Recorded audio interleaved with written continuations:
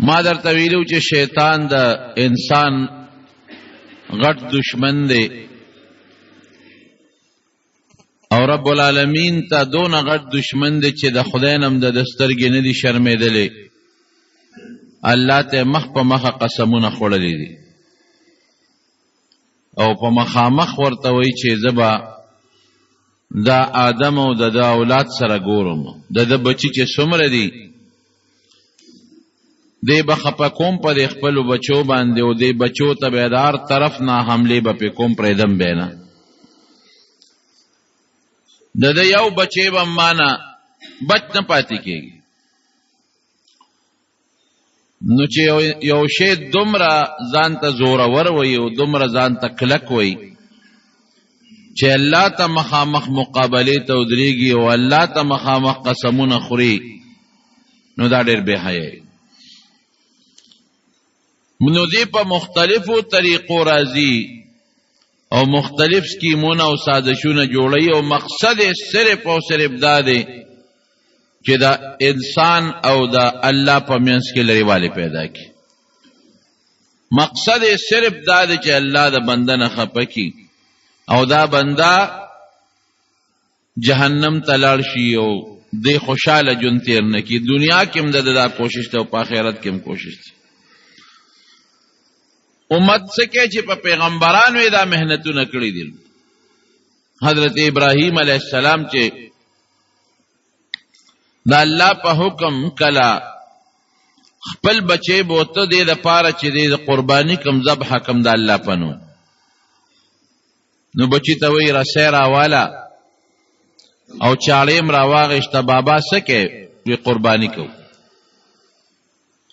قرآن شریف کې الله فرمایي فلما بلغ معه السعی چې کله منډو ترړو ته ورسېد علماوي دولسو کالو ته تقریبا د اسماعیل علیه السلام عمر ورسېد قال یا بنی انی ارا فی المنام انی اذبحک فانظر ماذا ترا نو بچی ته وای مخکې نوې قرباني کو ټیک د قرباني ذبح ک د ګټ کې او ک د زوی کې د الله په نوم قرباني تقرب الله نزدېکت حاصلولو ته وای په دې الله بنده ته نزدې کیږي چې روان شو نو دا شیطان ته ګور اوس د انسان په شکل راغی او بی بی هاجرې ته وایي د اسماعیل علیه السلام مور ته وایي زوی او خاوند یې څه شو وی لاړل چې ته قرباني کوي وی تا ته پته ده چې بچی یې د لسله بوته وی نه وی ستا دا بچی یې لالی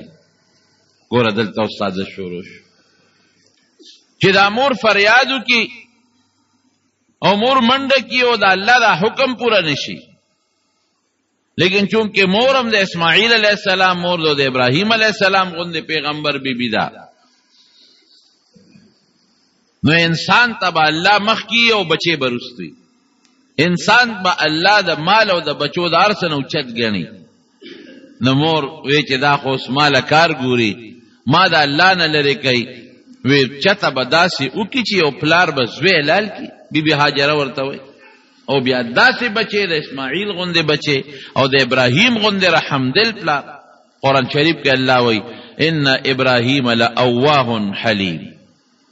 ابراهیم علیه السلام کې یو جړا ډېره زیاته وه هر وخت به آه آه آه آه الله ته کول جړا کې د خولې د بندنه آه آه سلګو سره وځي او حلیم ډېر زیات صابر و صبرناک پیغمبر او هوښیار تم وي هوښیار هم دی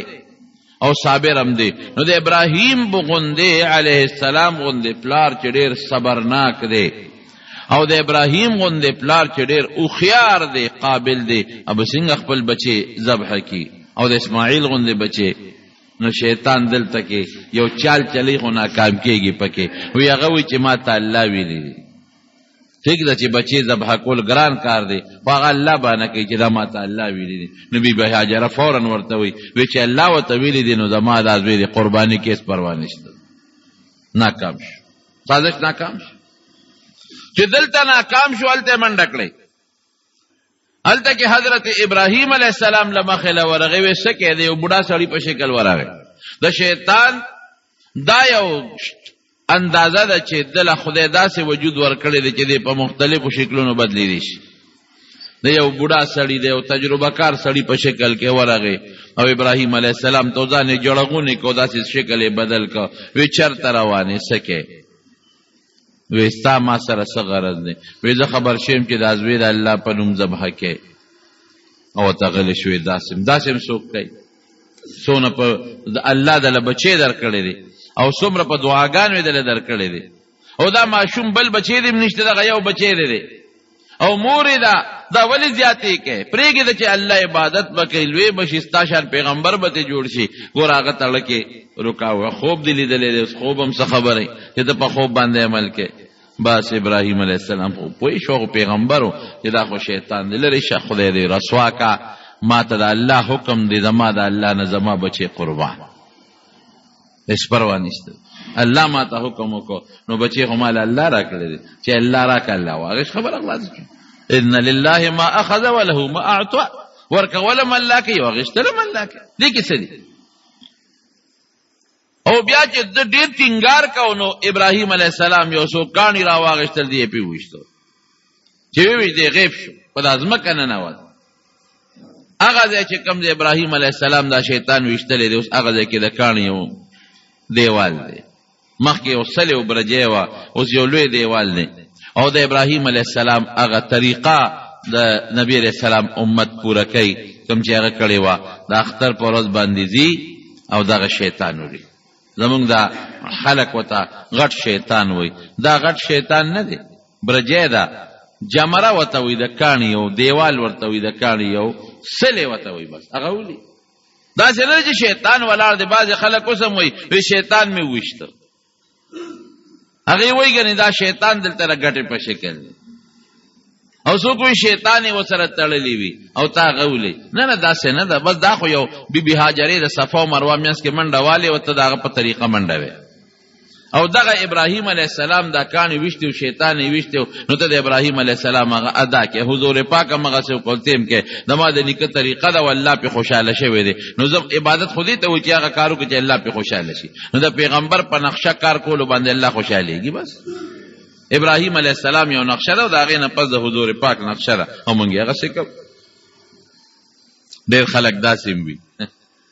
ما لیدلي دي په خپله سپلی وباسي او کیړی وباسي او ورشغالي کې ستا په مور وي هغه داسې کنځل ورسره پیل وي کنځل وکړي او ډېر پکې داسې وي چې ځان سره چوکه موړي اوس خو خیر چونکې نه پرېږدي خو پخوا به داسې هم وه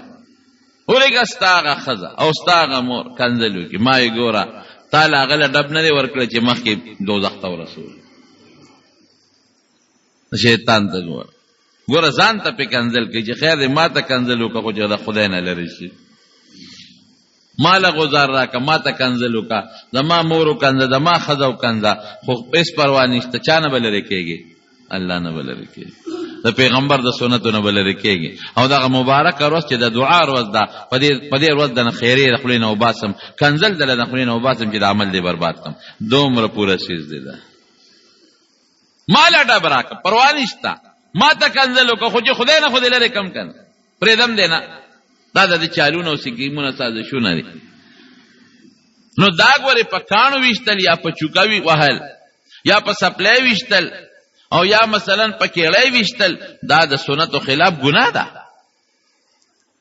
ګوره مونږ به الله خوشحالو د پیغمبر په طریقه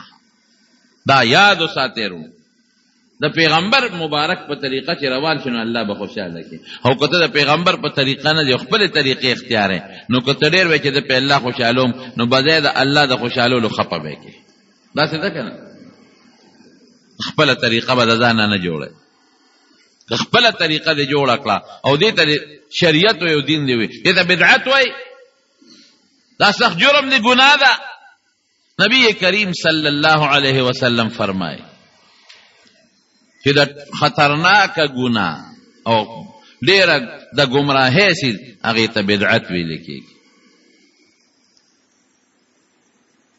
بدعت څه ته ویل کیږي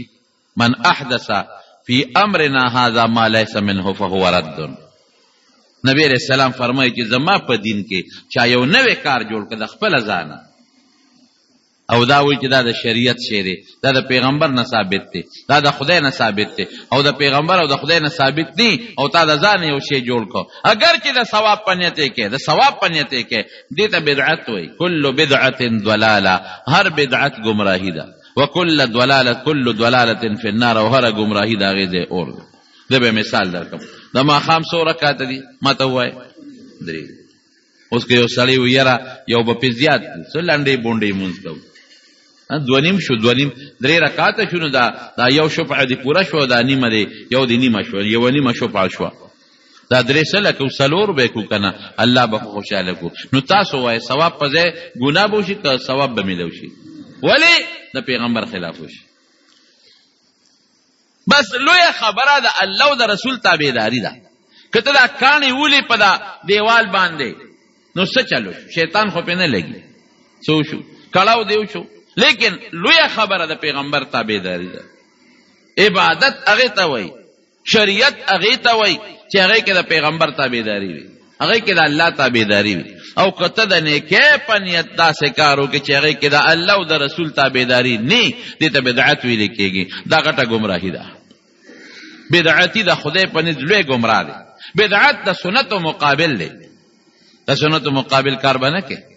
شریعت هغه ته وای دین هغه ته وای دام ګوره شیطان درته وای جی دا کارو کا کنه شابه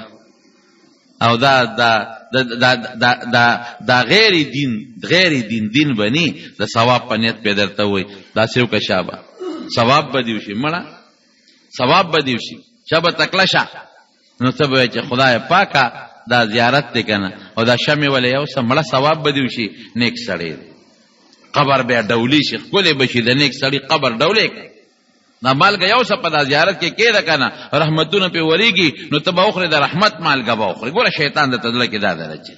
دا نیک سړی دی که نه دا ورشه دا غلا پرې راواله په دې خو بلا رحمتونه ورېږي او په دې مخ یې مومږه او په دا سر یې مومږه دا شیطان درته خوښوي په دې دغه کې دا شیطان جټکې درکوي که ته وایې یاره که داسې نه مړه په دې قبر د خدای رحمتونه نه ورېږي په دې مالګه مو ورېده او په دې غلا په مو ورېده او په دې کاڼو مو ورېد دا به ځان پورې مه کم که نه نه دا نه پیغمبر کړی دی د پیغمبر مبارک نه لوی شخصیت بل څوک نه دی شوی صحابه دغه قبر سره داسې نه ده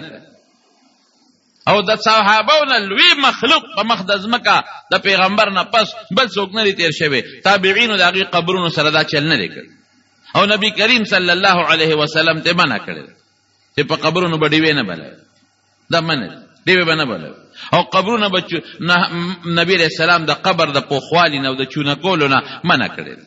نو چې اوس ما ته پیغمبر وي مې کوه او زه هم نه مړه برکتونه پرې نازلېږي نو زه به خپل سوچ ته ګورم د شیطان دی وسوسې ته به ګورم که د پیغمبر تابعداري به کوم وایه تابعداري کوم پیغمبر تابعداري کې ګټه بل څه کې نشته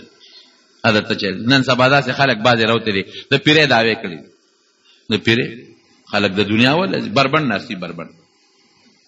جامع مکمل استوی نه کمیسته او نه پرتوشته ننګا صاحب ننګا سرکار نوم هم ننګا سرکار دی بربند بابا ننګا سرکار معنا پښتو کې څه دی بربند پیر بربند بابا دنیا ولا روانه څوک دې څوک له پچا چاله پچاډه بور کوي او چاله پملاډه بور کوي او خلک وایي جی خدای ته رسېدلی دی هلکه ولې خدای ته ورسېده دی خو مونږ نه کوي دی خو مونږ په مانځو نه لیده مړه وایي ته څه پوهېږي دی خدای ته رسېدلی دی د مونځ ته ساجت شته بغیر د مانځه او دا څه نه زما د په ذات ته خدای قسمي که خدای ته ورسېده نبی علیہ السلام فرمای من ترک الصلاه متعمدا فقد کفر زه خو نه وایم چا چې قصدن ون پرې خو د کافرانو کار وکړ بلکې احمد ابن حنبل دا معنا کوي چا چې قصدن مونږ پرې خو کافر شو نو پیغمبر وای د کافر کار یو پیغمبر وای کافر شو پیغمبر وی د کافر امام صاحب وی نه کافر کیږي نه خو د کافرانو عمل یو که کافران مونږ نه کیږي عمل یو احمد ابن حنبل وی شافعی صاحب وی نه وی کافر شو نو ما ته پیغمبر وی دې کافر شو ته خدای ته رسېدلې دې مونږ ته حاجت نشته دا شیطاني چال جی نه کنه بلو دې پلان کې له پملا ډب ورکړو زوی شوی وکړ پلان کې له پشا ډب ورکړو څه چل شوی زوی شوی وکړ اسواس ابل او سړی لاړو مال او تعویذ وکړه چې مال خدای زوی راکړي وی واده دې کله کړی دی وی واده خو مې نه دی کړی هلکه چې واده دې نه دی کړی زوی د کمې غواړي نو چې واده مې وکړ نو بیا ستا د تعویز ته پکې ساجت بې واده زوی غواړي موږ دقه سوچ شیطاني سوچونه دي دې بربنډ دی هلکه دا ولې پیر دی یې ډوډۍ نه خوري متیازې نه کوي دلته په دې پیښور ښار کې یو زمانہ کې یو کسو پیښور ښار کې زه په خپل ماته چا وی چې ډېر نیک سړی ډېر لوی بزرګ سړی بزرګ پیران الحمدلله نیکان شتا هغه چې هغه د الله عبادت کوي هغه چې هغه چې لیو باسي هغه دي چې هغه تا ته ذکر خای هغه دي چې تا ته درود شریف خای هغه دي چې ستاسو سلو کی هغه خلق دی نیکان اولیاء چې دي ته ته وګوره تا ته خدای را یاد شي چې ته ته وګوره تا ته څوک یاد شي الله یاد شي ته ولا ځې ښکلې ږیره دې پرېښوده، تسبیح دې لاس کې وه، ذکر دې شروع کړ، پیغمبر سره مینه دې پیدا شوه او د نیکۍ لارې درته ښیي، داسې اولیا شکر الحمدلله ډېر دي، نو په بربنډو پیسو لپاره ګرځي.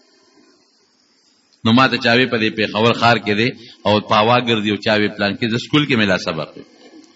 او چاوې په اوبو د پاسه مې ولید مې ته راشه ملاقات له به لاړ شو د یک سړی به انسان دی چې ورلمه نو چرسیان ترې راته ودي یو داسې بوی دی په هغه دوکان کې د چرسو بوی دی چې چې ما یې خدای او کوم خوا وتښتم چرسیان ترې راته چرسونه دي نو خوا کې یو دوکاندار نه مې تپوس وکړ موچي موچي سپلو والا مې لکه دا کاکا زبرګ دی یو دا خلک داسې وي مې ته گاونډي نو مې دې خو چرس کی او وی دا خلک وایي چې دی او دسمات نه کوي ځکه زبرګ دی دې لوی او دس ماته نه کی ځکه زبر دی تاسو نه تاسو کوم د رسول الله مبارک نه لوی پیر او لوی بزرگ د زمانه او لوی شخصیت بل تیر شوی دی نو قران شریف کې الله تعالی فرمای بازار کې هم ګرځي یاکل الطعام ډوډۍ هم خوري او خپل د انسان چې کومه تقاضا یې هغه هم پوره کوي دا داسې ماتې چلې صحابو ته هم ښودلی او په خپل هم حدیثو کې راځي کان اذا اراد الحاجة ابعد فی المذهب چې اودس ماتې به یې کو د کلي نه به ډېر لرې ته نو که ته چې پیر دې ته وایي چې اودس ماتې نه کوي ډوډۍ نه خوري بربنډ به ګرځي نو زه هم دا خو د حضور پاک طریقه نه ده په دې لعنت ویلی دی صحابه کرامو ټولو دسمات یې کړي د هغې نه لوی شخصیات بنو هغې ځانونه هم پټ ساتلي دي بربنډ نه دي ناست او ډوډۍ ګانې هم خوړلي په ډوډۍ نه خوراک د چا نه بزر نه جوړېږي په اودس ماتي نه کولو چا نه بزر نه جوړېږي نو ما ته ګاونډي وای وای خلک کوی چې دی او د اسبات نه کوي ما ته د کم ځای مې در چار سدیم وی ما خصوتن مانځه نه پس نشر اتلی چې هغه دا غشې در توخم چې سونه کوي دا وی قمقل خلک دي چرسیان ټولو چرسونه سکی نه مونږ شته ان روجه شته روجه مو روجه کوم چرس کی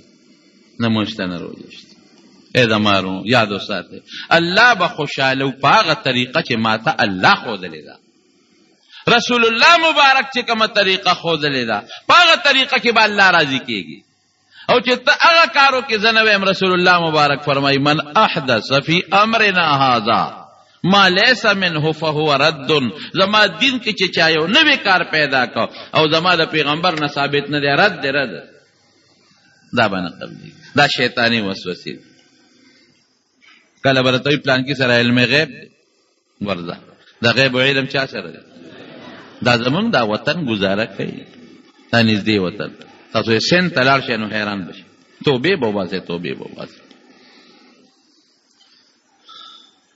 یو سړی و هغه به مونځ اودس نه کوو او ښځه یې نه کوه ښځې به ورته یاده خدای نیکبختي مونځ که بس وایي ما خپل پیر صاحب سره بیعت کړی دی به مې جنت ته رسوي روجه میاش بشه هلکه روجه نیکبخته روجه نیسه ما خپل صاحب سره هغوی ورته مرشد پاک وایي ما د خپل مرشد پاک سره بیعت کړی دی بس هغه به ما جنت ته رسوي هغه ته زما هر څه معلوم زه چې کور کې دلته ډوډۍ خورم دی نه هم خبرېږي زه چې دلته چای څکم هغې نه هم خبرېږي ته چې ما سره خبرې کوې ښځې ته ګورې دا خبرې مه کوه زما پیر صاحب درنه خبرېږي خیره به درته نو دا صفت د چا دی تاسو راته ووایئ رسول الله صلی الله علیه وسلم فرمای انی لا اعلم وراء الجدار وی دیوال نه پورې غاړه ما ته پته نه لګي ها الله وتخی دا د حضور پاک معجزه ده ډیر څیزونه ورته الله د قیامت علامې هم ښودلې دي او ډیر پټ څیزونه یې ورته ښودلې دي په زرګونه یې ورته ښودلې دي هغې ته موږ د پیغمبر معجزه وایو دا د حضور پاک معجزات دي نو دا ښځه به په سپېړه وواله اوس نیک بخت دی خوله به دې ګونګه شي پیر صاحب دنه خبرېږي که هغهلته په خپل ځای کې ناست او دلته ته ناست یې ورپسې خبرې کوې دنه خبرېږي تا نه خبرېږي وی خبرېږي وی دا نه پوه دا خځه یو خيارو وی دا څه وکا دی پیر صاحب لکه چې دا ډوړې وکا رې ولا کړ دی خپل کور لکه دا کور دی برکت شي وی دا خو سړی خوشاله شو چې دا خځه مې که خیری برابر شو ډوړې ولا جوړ کړ مریدان امرال له دې امرال او چې څنګه راغې نو روجي ولا برابر کړل او خځه سبا پیر صاحب لپخو وی چرګان به ولا پخو مو روجي یو یو غوره کې به یو یو چرګ پروت دا به برابر یو نور ترکارې ډېر هغه چې هر څه یې برابر کړل، ده ته یې ګدۍ ښه مزې داره واچوله او پیر صاحب مخې ته یې غوری کېښوده او څیزونه او مریدانو ته یې هم واچوله. دې ښځې دا چل وکړ چې دې مریدانو ته یې ورته په غوری د پاسه چرګان کېښودل، د پیر صاحب په غوری چرګ کېنښود، نور ځای کېنښود. چې څنګه کېناستل نو مریدان هم غوسه شو چې لکه دا خو دې زمونږ د پیر صاحب هتک وکړو ټولو ته دې په چرګانو په غوره وان چرګانې ښودې پیر صاحب لري تشې روجې راوړه چرګ په پاسه نه دی ښود او پیر صاحب هم له غوندې غوسه شو نو او دا مرید چې دی نو دیم دغه شو ما پیر صاحب پوه شو هلکه وایي تا زما بېعزتي وکړه بېعزتۍ له دې راغوښتې زما ډوډۍ ته وګوره او دې نورو ته وګوره بس مريد لاړ او کوتک يې راواخيست او ښځې ته يې ونيو چې تا زما ته پته وه ما خو ويې کته سمه شوې زما پير صاحب دې منلی دی دا خو تا زما د پير هته کو کوې ولې وې نورو ته د چرګان پير صاحب غوسه شو چې د ما ډوډۍ سنګره نور ډوډۍ سنګره هغه تر چرګانې خو دي او ماته نشته وی ښا تا خو چې د ما پیر د غیب عالم دی علم غیب دی وسره کړ وی یو بالکل وسره شته نو د ته خو ما پروجو کې یو ګوتلاد نه چرګې خو دی دننه غوره کې ورته شی پروت دی نو دې پروجو کې یو ګوته لاندې چرګ نه او دا غځې نه ما دلته نه دا چلې وسره دې راغی پیر دې دې پیر دې دا خو جما ته راغی به هو ته چې کور کې څه کې هغه ما ته معلوم دي وی ګوته دې رجو کې وردن نه کې دنه کې به چرګ پروت دلته نه نه دلته نه دا غیب علم چا سره دی قل لا يعلم الغیب الا هو قرآن وی زنوی قل لا يعلم حسر دی حسر معنی څه ده د غیب او علم نشته مگر الله سره دی بل چا سره نشته بعض یو پیغمبر دی هغه ته خدای د مستقبل خبرې وښیي معجزه ده یو نیک سړی دی هغه ته خدای د سبا یو کار وښیي یو بزرګ دی یو نیک دی عالم دی هغې ته کرامت وایي هغه ته کشف وای پیغمبر ته کیږي معجزه ده نیک سړی ته کیږي څه ورته وای کشف کرامت ورته وای خدا نیک بسو کی دا باغ سو کی چې د پیغمبر په نقش قدم روان دی پس پیغمبر په سنت روان دی زماره قسم په ذات ته دین هغه چې ماته پیغمبر خو دلې د پیغمبر په نقش قدم دی قدم کې خود بس دا ستا دین دی دا سنت دی او که د پیغمبر د نقش قدم نه دی قدم بل طرف ته واړو دا دین نه دی بی دینی دا دا څه ده کنه دا اوس مثلا ما ته به د کر کروندې چل خو زمیدار خې زه څه پوهېږم دین به تا ته رسول الله خې اطیع الله و اطیع الرسول دا الله او د الله د رسول تابعداري وکړي او که موږ د علماو پسې روان یو نو دا عالم که د امام صاحب پسې روان یو د امام صاحب که د بزرګ صاحب پسې روان یو دا بزرګ صاحب ما ته د پیغمبر طریقه رانیولې ده بلکل چې د پیغمبر خبره درته وکړم منه یو امام صاحب درته پیغمبر خبره وکړي منه یو پیر صاحب یو نیک سړی صالح د پیغمبر خبره درته وکړي بلکل منه دا واسطه شو ستاسو د پیغمبر په منځ کې ښه اصل خبره د چا ده د پیغمبر او د ځانه خبرې به نه دا شیطاني وسوسې شیطان درته وسوسې شابه دا چلو کا شابه دا چلو کا شابه دا چلو کا دا مړیو شو او شابه زیبا او پر محرم کې با د په قبر باندې مسوره چي او دا د لسمه د محرم ده او په دې قبر د پاسه به وبا چي الکه دا وبوله چي وی حضرت حسن حسین تګي مړ دي الکه حسن خو پکې ما یادوه رضی الله عنه حسین یاد کړه یوازې نو ته دلته کې په قبر وباړې وغالته تګې مړ دی نو خدای ته وګوره دا تنده د هغه په دې ختمېږي وسته کېږي او نرې د روح افزا یو بوتل چا له خیراتي ورکا ویره دې ثواب خدای حضرت حسین رضی الله عنه ته ورسې دا اسلامي طریقه شو اوس دا په قبر دلته وباړول او مسور په قبر اړول دا ګناه شو بدعت شو تی د ثواب په نیت کې او که بوتل دی چاله ورکه خدای ثواب یې د ما پلار ته او حضرت حسین رضی الله عنه ته ورسه او یو جام وب دی چاله ورکه تګیلا او یو کیلو مسور دی چاله ورکه ثواب الله غته ورسه دا شریعت شو حضور پاک له یو صحابي راغی وی مور مې وفات شوې ده زما لږ خیرات تړی کېږي نو مدینه کې خوږې اوبه کمې وې یو کوی که خوږو اوبو چې ته وکنم وی بلکل نو هغه یو کوی وکنه اوبه خشته خوږې راووتې وی هذه لام سعد وی دا د فلانکي د مور شو نو ثواب مړي پسې رسول څه ګناه خبره نه ده دا ثابت څیزونه دي خو که ته تختې باندې مړی ولمبې او د تختې لوا پخې دا په شریعت کې نشته ماشومان هم نه خوري قسم دی وړو لا غالو کې بنتي دی وای دا تختې لوا دا خو یو قصه نغار جوړ کړي او مې اورېدلې دي چې اوس وی بازه مړي چې په کومه کوټه کې ولم بینو سلوي خو دغه کې شمه بلې وې د مړي دا روح دلته راځي دا ځانه قصې پسې دي دا شیطانی وسوسې دي زمونږ په دې علاقه اندوان تیر شوی دي په دې علاقه اندوان تیر شوی دي دا غ اندوان غ رسومات دلته پراته دي نو مونږ ته دا شیطان هغه سیزونه نه نیغ نیغ کوي ورونو یاد وساته بیا بیا درته ویم بیا بیا درته ویم دین او شریعت هغه دی چې ما له ښکلي پیغمبر راوړی دی او د هغه په سنتو لاړ شم به دا شریعت او دین دی او چې د ښکلي پیغمبر د شریعت نه بل خوا قدم اږدم دا به دین نه بې دیني الله دې هغه زموږ نصیب کړي نو خبره رانه لرې لاړه خو دې پورې مې کوله چې هلته هغه شیطان خلک سپلی راوالي ایستا وي هغه مور ای ستا هغه خور ای ستا هغه ښځه نو په شیطان په هغه هلکه تا لا غزار نه دی کړی او هغه له د خولې نه درنه ګناه در باندې وکړله نو بیا راغی داسې اسماعیل علیه السلام حضرت اسماعیل علیه السلام ته وایي چېرته روان شوی وی بابا مې وایي چې قرباني کوي تا لالی وی چې د پلار به زوی لال کی وی هغه وی چې ما ته خدای ویلې دي وی چې ویلې دي په به هیڅ خبره نشته حلال مې دي نو هغه ته بیا جلغونی شو سترګو کې ښکلا واسطه چې دی به خپه شي اوس به تختی ګوره چال چلی نو هغه مې یو څو کاڼي راواخېستل غزارې پې درې ځله دا عمل شوی دی درې برجې دي مخکې برجې او درې والونه دي هغه دا الله ته خوښه ده نبي علیه السلام کړې دا اوس به مونږ به کوو نو دا مې د شیطان چال درته ښوم دا د دا چال دی چې د کوشش کوي پیغمبر د پاره خو د پیغمبرانو خو الله حفاظت کوي پیغمبران خو الله معصوم او پاک ساتلی دي رسول الله مبارک یو دلو فرمایل وی چې کله یو انسان په خبره پويږي شیطان یو بچي ورپسې ولګي قرین ورته وي قرین دی تر مرګه پورې دی له دې نه جدا کیږي یو صحابي ورته وی لک اقل الک قرین وی دا الله رسول استاد شتا یو شیطان تا سره شتا وی فرمایل بالکل ما والام شتا لیکن انا اسلم زته محفوظیم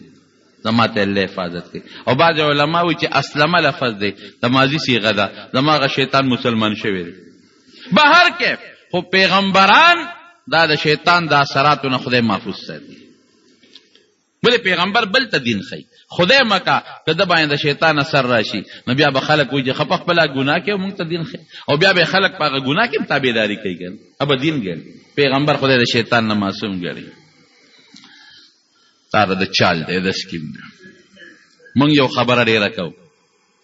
مونږ وایو چې یو سړی یو ګناه وکړي مړه دا شیطان را باندې وکړه یو شیطان یو سړی یو ځل په لاره مخې له ورغی وی ته څوک وي د شیطان یم تا خو د خدای تبا او برباد کې مونږ دې غرق کړو ولې په چا قتلونه کې په چا جواره کې په چا زناکاره کې مړه لرې شه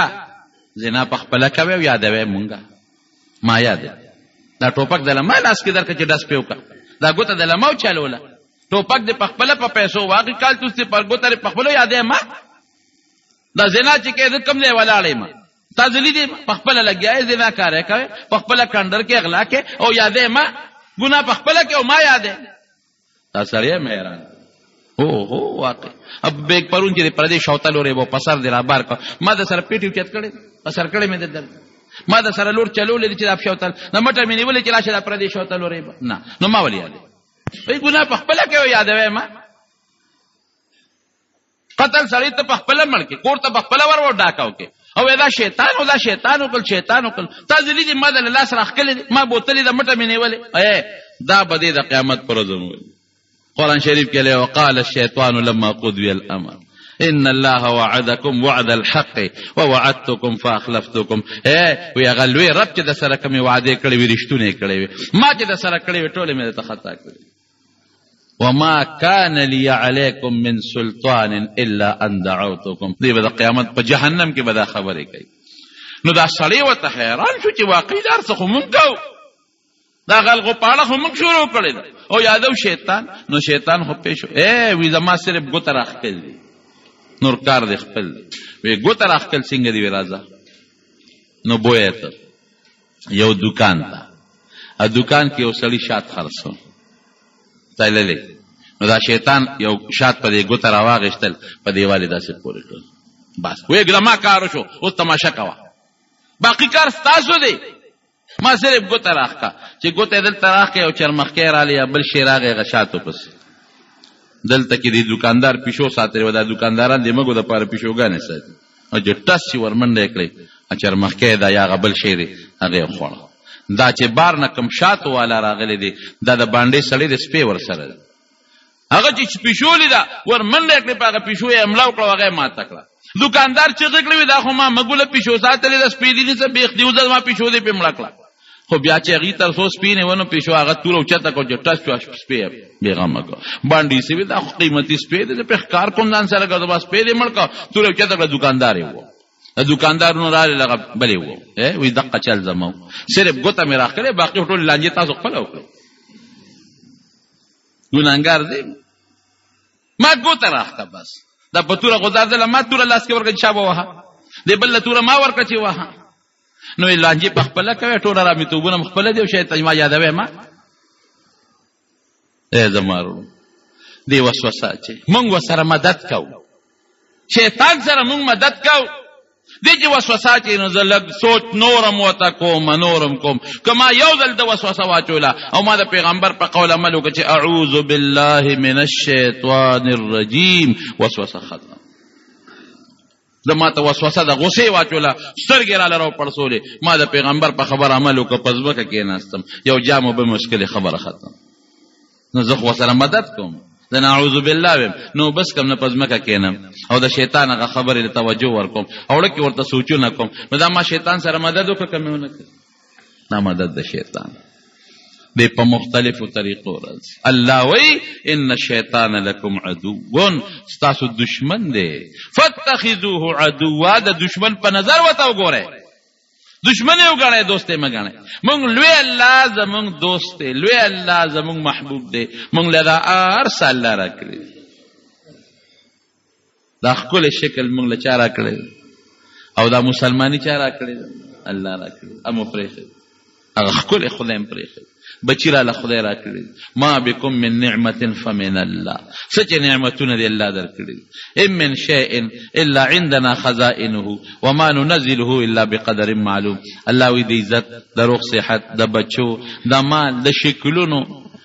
د دې ار د دې ار څه خزانه ما سره ده او په یو اندازه د خزانې نه نازلول کوم هغه لوی خدای هم پرېښی دی هغه ښکلی پیغمبر چې د هغه موږ سره څومره احسانات دي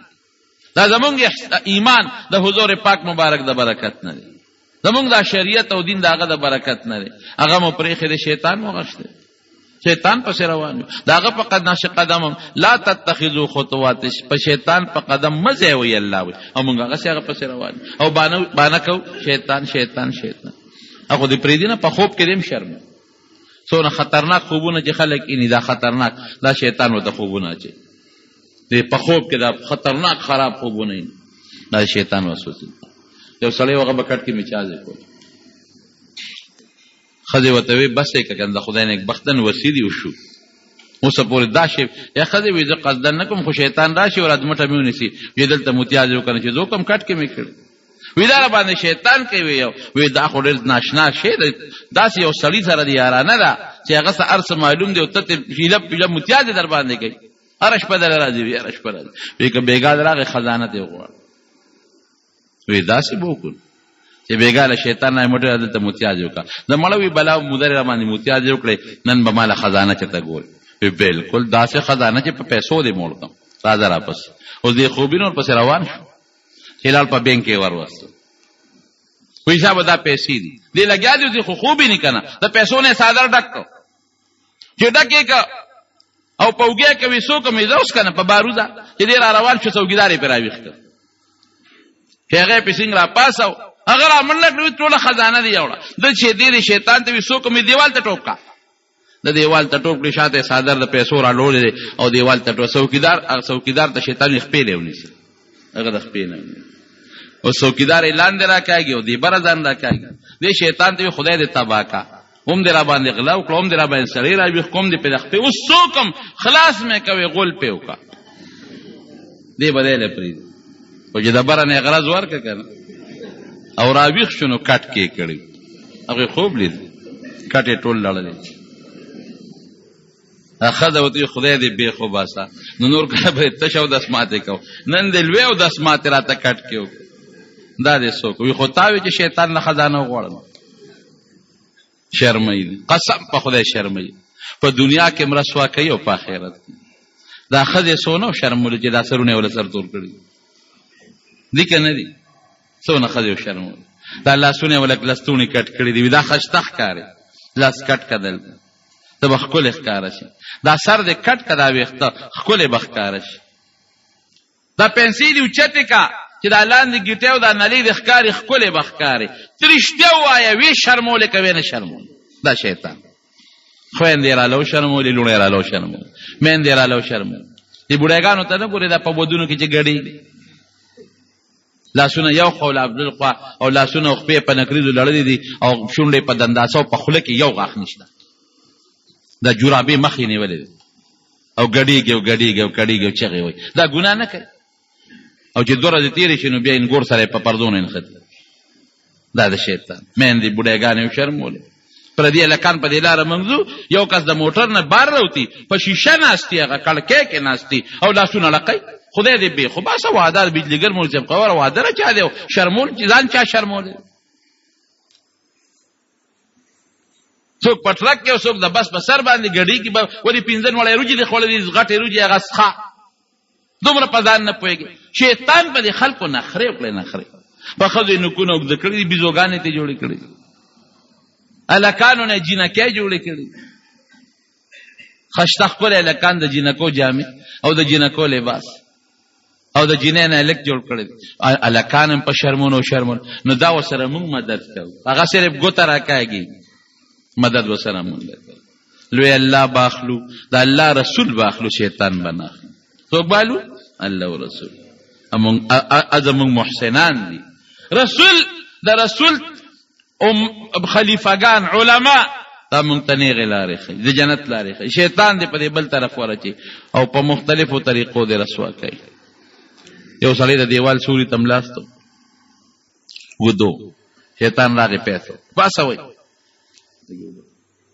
پاسوي دیوال در باندې راغورځيږي دی چې څنګه پاسې ده او لګ دی خوا چې ډس چې دیوال پر پریوت دیوال چې څنګه را پریوت نو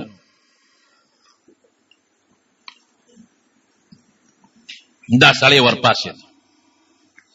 ابوډا ته وی خدای د سره خو کتا خو د لوی غم خلاص کم خره کې د پاسولم یعنی دا دیوال برا مدار پروت په مړو ته سو کې خدای سره خو وې د شیطان نه یاره شیطان ته ګورو ته خیر کار ته ګورو ته چې تاسو نیک سړی ته شیطان نه شیطان چا سره خک وې ما خو د سره خنه دی کړ وې دا د خوب د پاسولم که دې نه وي پاسولو به مړو خدای دې وي بې خو باسه بد مې را سره وکړ وی څنګه بد دې وکړ وی که ما نه وي پاسولو دا دیوال را باندې را پروتې وي اوس شهید کېدې د شهادت نه مې بچ کړې شهید کېدې تا به هم په جنت فردوس کې راته مټې والې ګوره دا د دبدیل سکیم وساده شي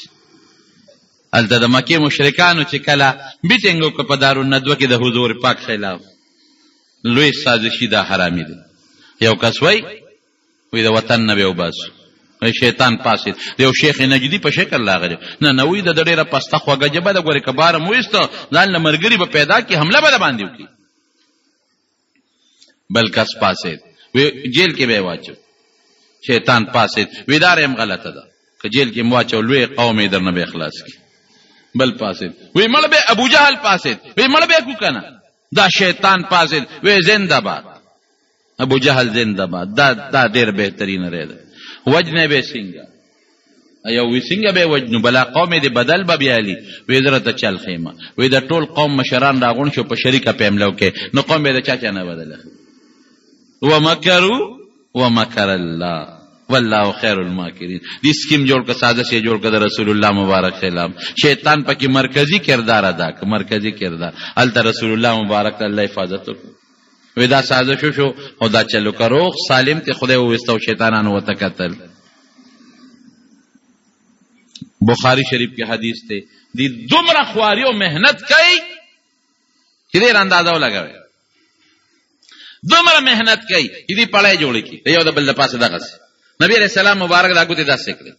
وی د یو د بل د پاسه پړی جوړ کړي نو اسمان ته ورسي نو په اسمان کې چې فرشتې کمې خبرې کوي چې سار له بدا کیږي بل ورځ بدا کیږي الله خو دا کارونه اکثر د فرشتو په ذریعه کوي باران به کیږي پلان کې دی کې د پلان کې زوی به پیدا کیږي د پلان کې بدا کیږي دا به کیږي دوی کوشش کوي چې هغه خبرې راغلا کړي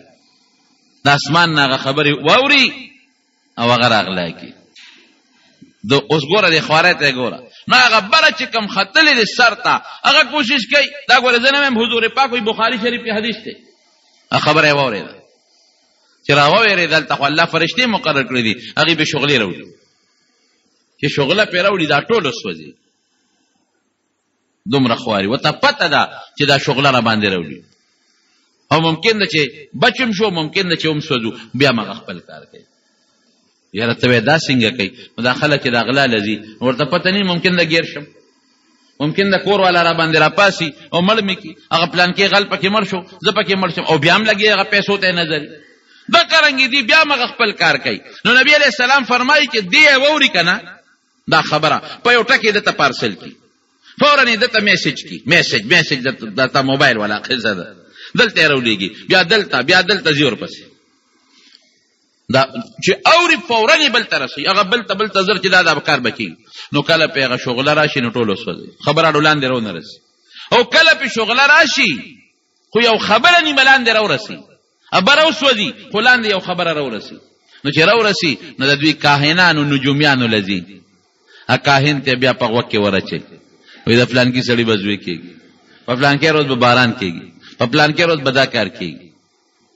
نو خلک خو دوی له راځي که نه نو دی هغه یو ټکی وایي نو هغسې خو شي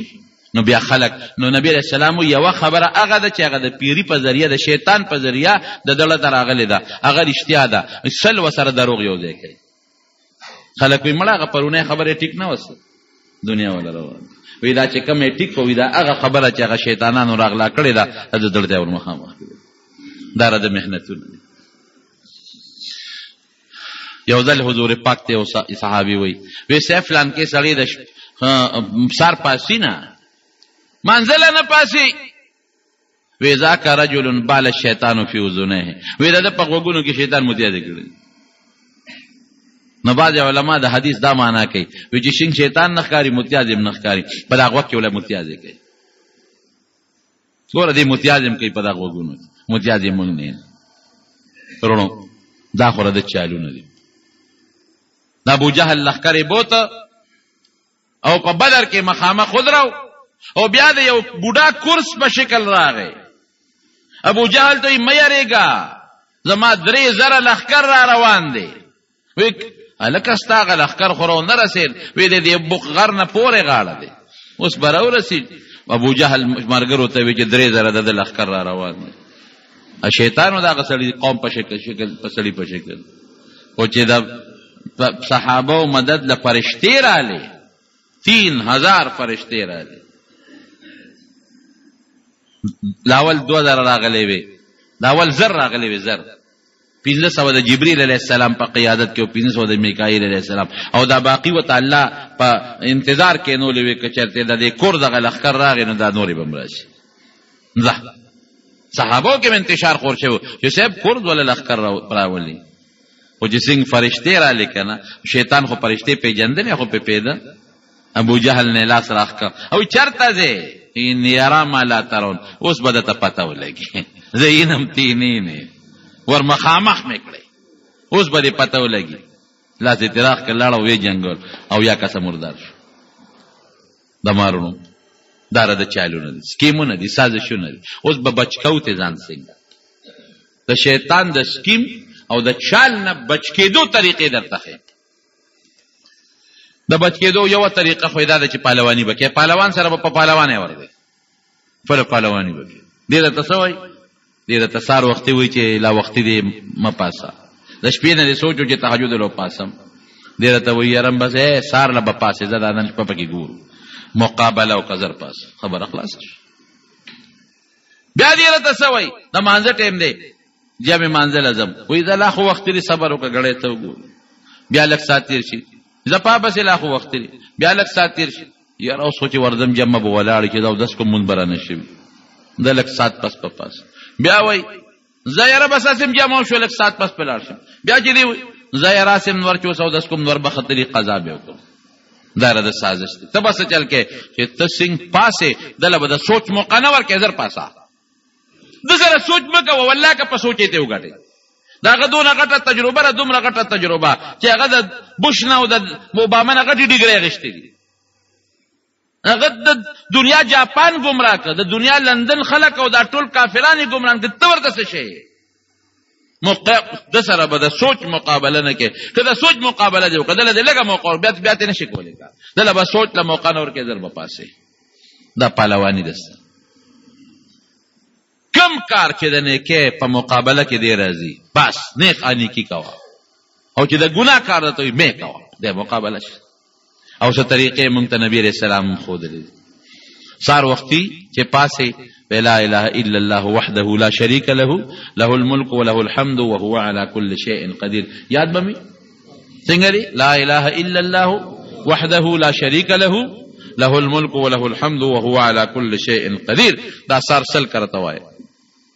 دروازې به د شیطان د اثر نه محفوظ وي